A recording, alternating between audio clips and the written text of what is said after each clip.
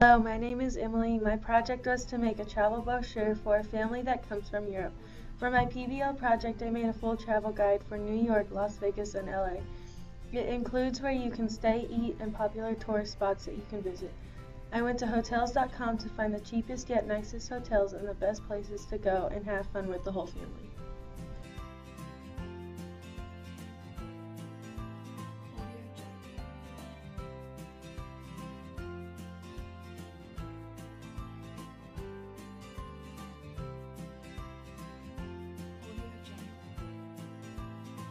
For my ELA component, I interviewed Rebecca, the mom of the family. To read the whole interview, please go to my website.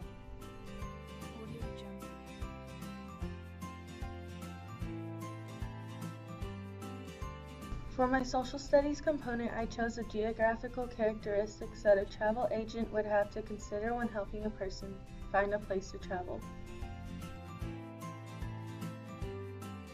Thanks for watching.